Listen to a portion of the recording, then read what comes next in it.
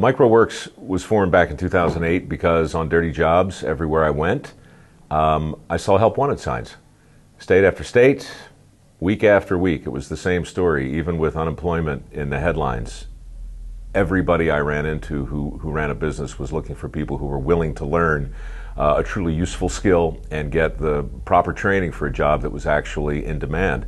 It was just a real problem and a real disconnect. So the mikeroweWORKS Foundation was designed to help encourage people who were willing to take the time to learn a useful skill. That's why we started it, and that's why we continue to do it.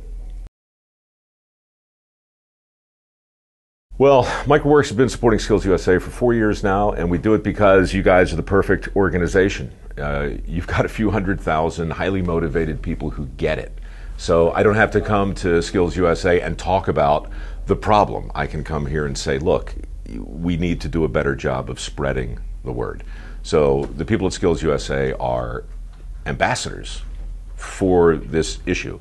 And it's just always fun every now and then to, to preach to the choir you guys are the choir. So I'm here for the fourth year this year, and uh, opening ceremonies last year, closing ceremonies this year. Maybe next year I'll do something in the middle.